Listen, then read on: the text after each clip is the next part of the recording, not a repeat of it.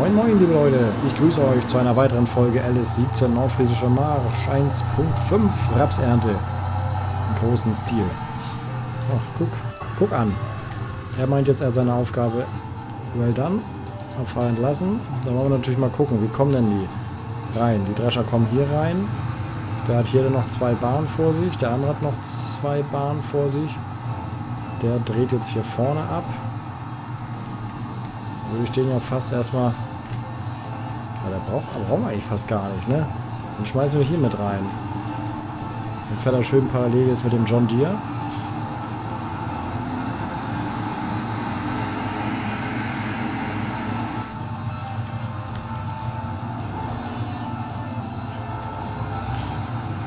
So, Abfahrer einstellen und wir fahren mit ihm mit. Ich weiß nicht, wo er jetzt hin will. Wir machen den John Deere leer.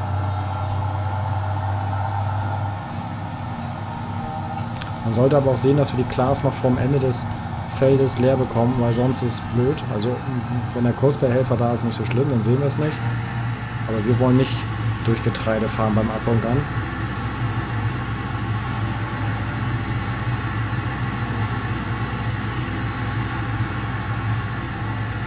Ja, da fährt er doch schon.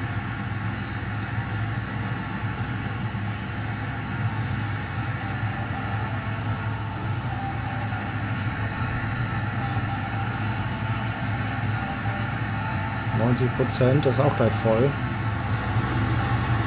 Ich will fast gar nicht mehr und fahren nochmal hoch. Weil das sind bei dem ja mal gerade 3000 oder so, die wir jetzt hier noch reinbekommen.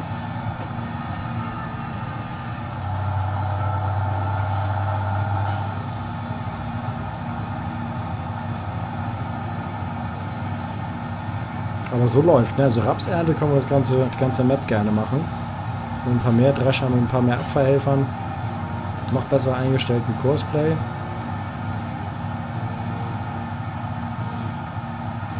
Weil ab jetzt brauchen wir eigentlich nichts mehr machen. Ein bisschen abbunkern.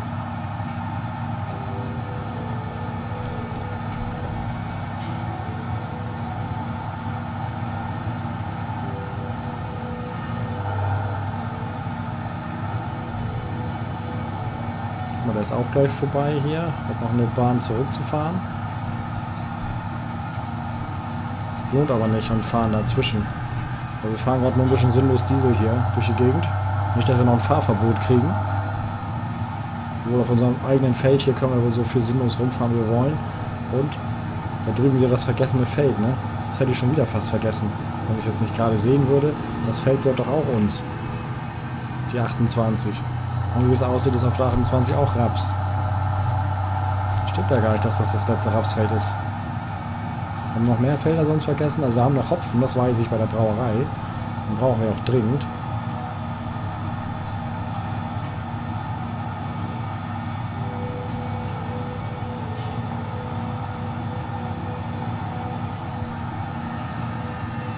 Schön natürlich wäre es jetzt noch, wenn es jetzt tagsüber wäre. Ne? Ich hau uns mal die Nacht durch, damit wir vielleicht noch ein paar schöne Bilder zum Sonnenaufgang hier kriegen mit den vier Dreschern zusammen auf einem Feld. So oft haben wir das Spiel ja nicht und das ist ja doch echt immer cool.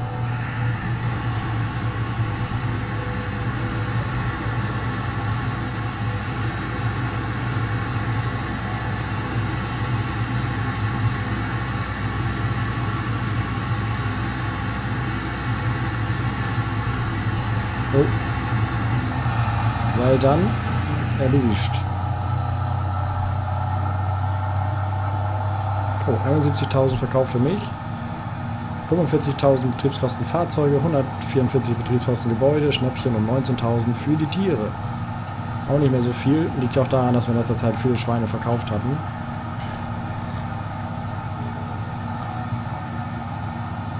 So, der Drescher da hinten ist voll. Der eine Abfahrer ist überfordert. Wundert mich jetzt aber auch nicht. War ein bisschen zu erwarten. Da kommt man so nicht hinterher.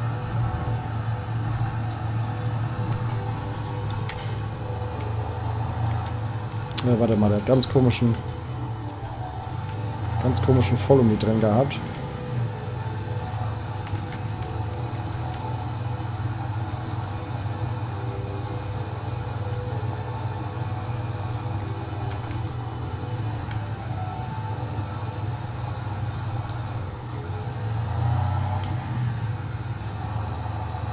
Ist genau falsch rum oder was? Ja, der war genau falsch rum. Okay. Ist in Ordnung. Hab's verstanden. Ich speichere mal lieber. Kann ja nie wissen. Wäre zu ärgerlich, wenn das Ganze jetzt abschmiert hier, weil wir doch echt der Rechner zu kämpfen. So, wir nehmen den jetzt mit rein als Abfahrer für die letzten Bahnen. Der Boden ist so hart hier. Das macht gar nichts. Jetzt machen wir den noch leer, weil wir sind gleich durch mit dem Feld. Die meisten Drescher aber wieder auf der falschen Seite, ne?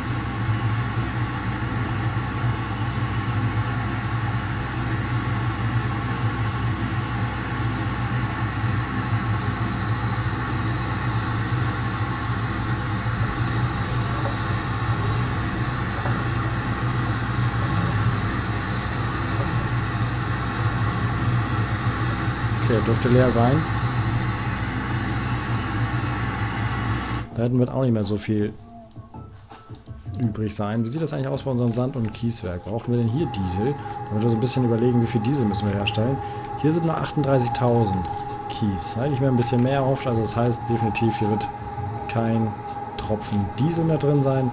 Weil die Überlegung war ja, vielleicht noch schnell einen Graben dicht zu schütten. Dass wir besser rüber auf Feld 28 kommen von 16. Müssen wir nicht rundherum fahren, weil rundherum ist echt eng. Können wir uns auch lieber eine kleine Feldüberfahrt schütten, oder? Aber mit nur so wenig dann haben wir wahrscheinlich genauso viel Sand, ne?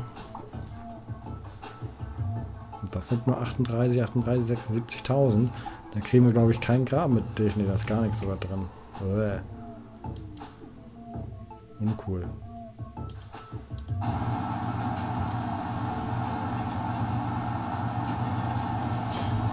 Okay, das ist auch voll. Schöne Ladung Raps. Ja, wir kriegen kein schönes Bild mehr scheinbar zusammen mit allen Dreschern hier. Wir könnten ja auch mit Kompost dicht schütten, ne? oder mit Stroh. Stroh schön platt gefahren ist ja auch gut. Ja, ist blöd. Nervt mich jetzt so ein bisschen, dass wir da so wenig aktuell drin haben. Hätten wir über Nacht, hätten wir vorher ein bisschen Diesel dahin gebracht. Wäre ist ja alles kein Ding gewesen. Dann hätten wir genug Kies produziert.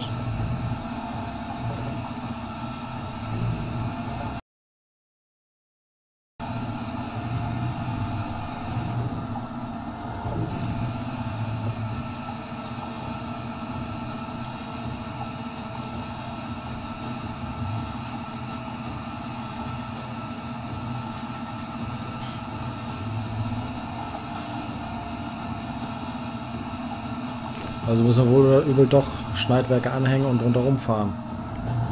Was ist denn dahinter noch für ein Feld? Das ist auch eigentlich Raps. Das wird sich dann ja echt anbieten, ne?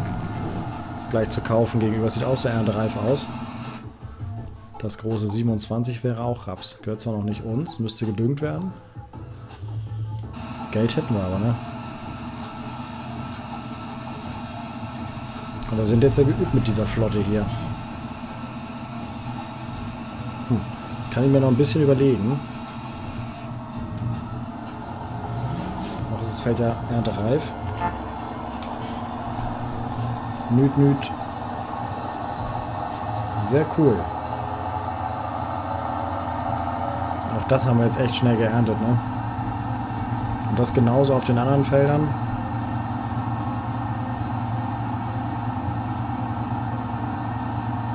Ich glaube, das wird uns richtig, richtig viel Diesel und richtig, richtig viel Speiseöl bringen, das Ganze, wenn wir das durchziehen würden. Ich muss noch mal gucken, wie viel kostet das Feld? 3 Millionen oder so? Das ist ein, ist ein ziemlich großes Feld.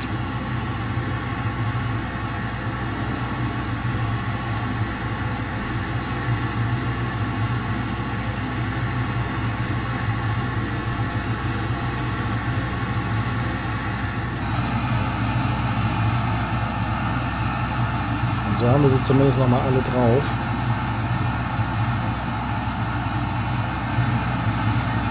Mehr oder weniger.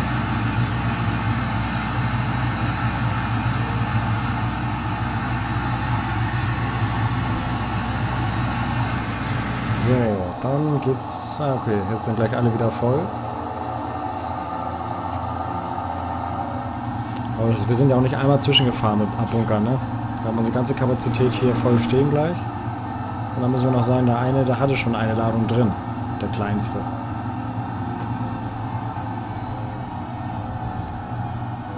So, und leer machen, dann schaffen. Das passt perfekt. Wir stehen alle, außer der John Deere, stehen auf der richtigen Seite.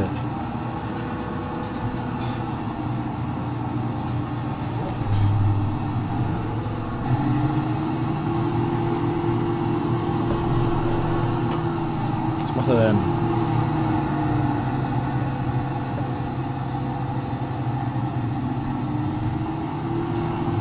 So. Dürfte für ihn für den Rest reichen. Und machen wir lieber nochmal den New Holland leer, bevor der jetzt anhält.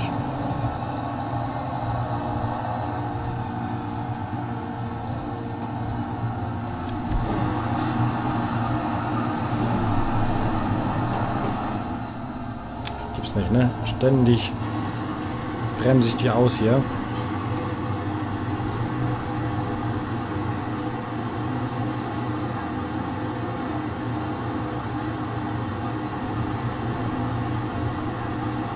So, den hier nochmal leer machen. Dann müssen wir hinten nochmal umswitchen auf den ersten Glas.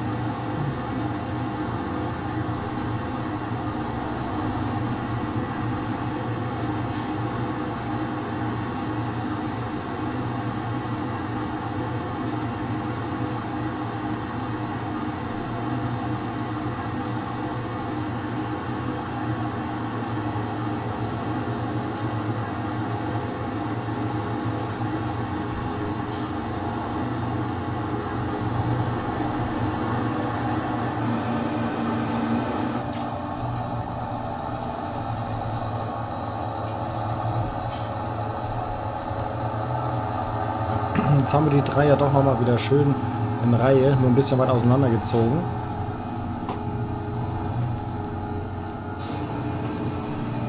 Trotzdem schön.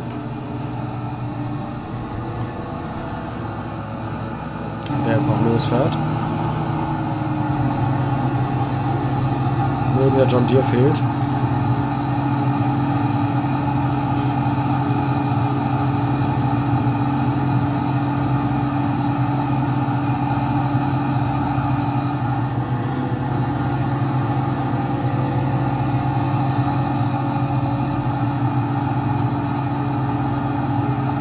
Den kriegen wir auch noch voll hier, ne?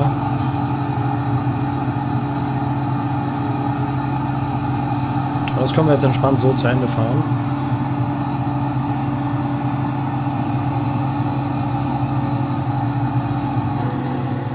Schon passe ich jetzt hier wieder ein bisschen zu weit rechts rüber. Die Innenansicht ist ein bisschen zu kurz gekommen, wa? Beim Rapsdreschen.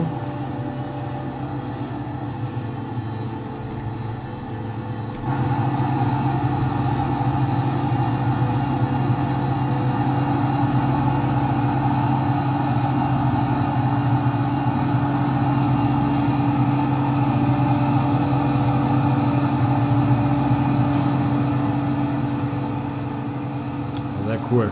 Gefällt mir sehr gut so, den Verbund. Das hat auch sehr gut funktioniert mit dem Feld. Bin begeistert.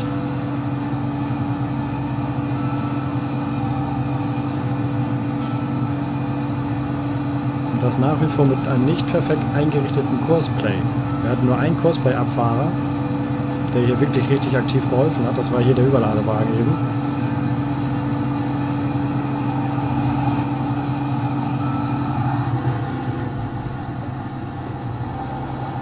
Nicht, auf den letzten Metern noch stehen bleibt hier. Aber eins ist mal sicher, das passt nicht alles vorne in den Transporter rein da.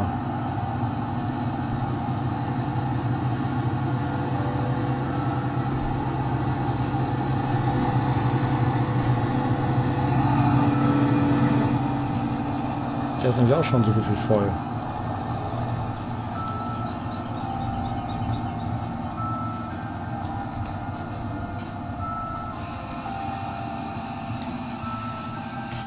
Und dann müssen wir erstmal im großen Stil rüberfahren. Achso, wir müssen den Dreschern aber natürlich noch wieder sagen, die hier schon sind, dass sie nicht wieder zurückfahren sollen.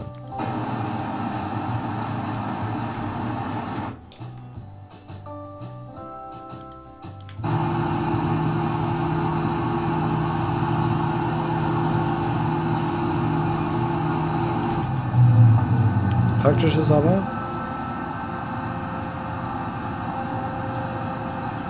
der John Deere kommt zurück.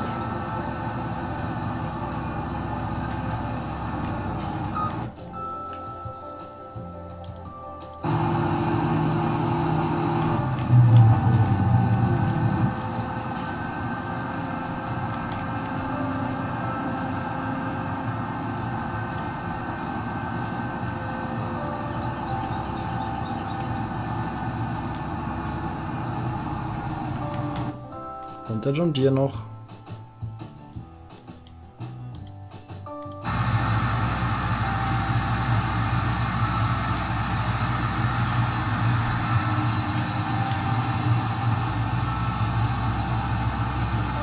Stellen wir auch noch schön hier hin, machen wir aber schon mal Licht aus.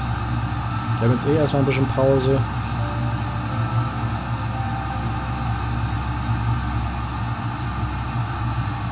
Vielleicht überlege ich mir doch noch für morgen hier noch ein bisschen Sand und Kies einmal schnell anzuschaufeln. Also eine Ladung Diesel irgendwie.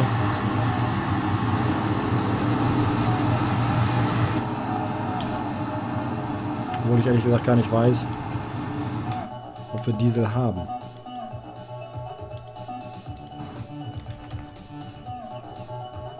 Oder ob wir alle schon irgendwo verbraucht hatten. Na, wir hätten Diesel.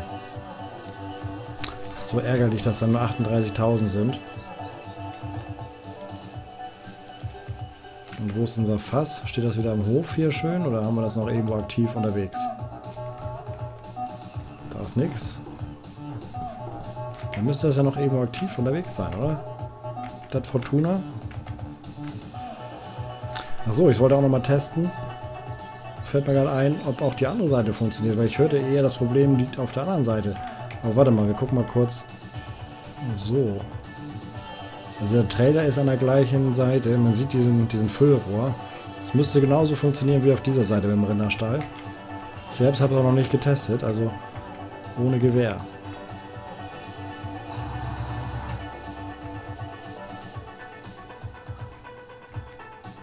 Da ist er. Das war der, den wir bräuchten. Um Diesel zu transportieren. Milch ist raus, ist Platz für Diesel. Damit wir wieder Sand und Kies herstellen. Das kommt eh erstmal morgendlicher Nebel. Der ist nicht gut. Ist zu feucht jetzt. Getreide. Und wir könnten 50.000 Liter Diesel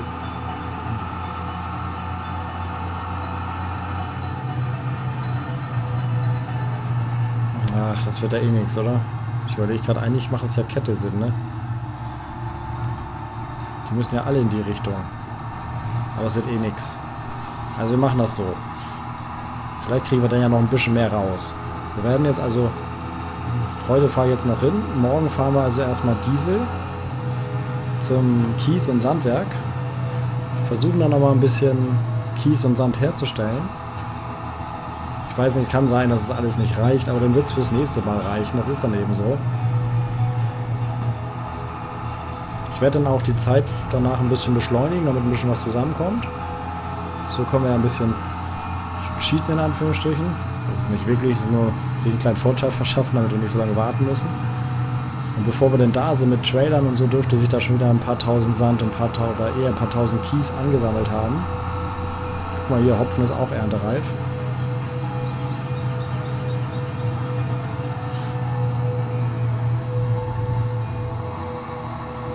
Danach müssen wir erstmal die ganzen Raps-Trailer ausleeren. Mit denen fahren wir da jetzt hin. Und dann war es das für heute, liebe Leute. Der kann hier jetzt schön voll gemacht werden. Bis dann morgen voll. Und dann starten wir morgen wieder mit dem hier Richtung Kieswerk. Eine Menge Diesel haben wir dann da hinzugeben. Kann ich hier nochmal kurz gucken. Leerpaletten sind da, Dingspaletten sind da. Wie ist denn hier die Anzeige überhaupt?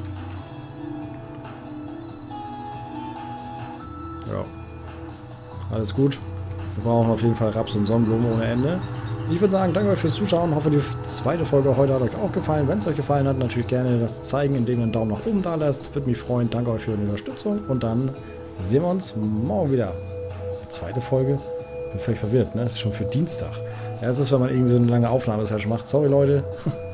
Ich soll ins Bett, wie gest, äh, vorgestern schon gesagt. Bis dann.